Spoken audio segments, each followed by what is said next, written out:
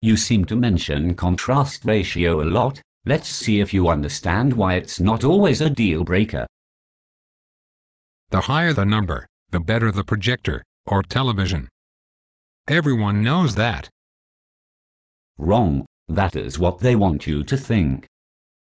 How can 50,000 to 1, or a million to 1, not be better than a projector that only has, say, 10,000 to 1 contrast? It depends on a few things. I know. Like, where you're going to use the projector. If the room is well lit, brightness, in lumens, is far more important than contrast. Boring, get to the point. Okay, stay with me on this. All the contrast in the world is useless if you can't see projected images when light in the room washes it out. That's why data projectors are generally brighter than home theater. Some makers of data projectors quote our reviews and say things like, with more than a candle's worth of light, contrast over 500 to 1 is wasted.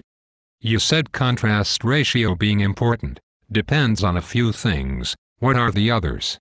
CR means contrast ratio, right? Yes, and the more contrast the better in a dark home theater room. Not so important at the races, where brightness is king.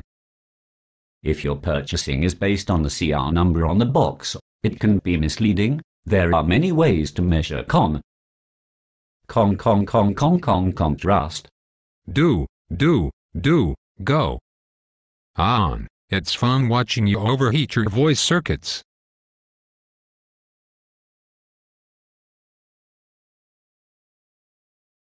Sometimes, high contrast figures are more about marketing than an indication of performance in actual conditions. In the example on the screen, you can see that 50,000 to 1 was only 4,000 to 2 1 native contrast. Like this, native. Native is what the light engine can do, whereas 50,000 was when the output was measured, full on then off, or white screen, then black screen. Will you watch the black and white show in real life? No, real images have black, white and colors at the same time. Can you believe there are people that still want to watch part 2 of contrast ratio?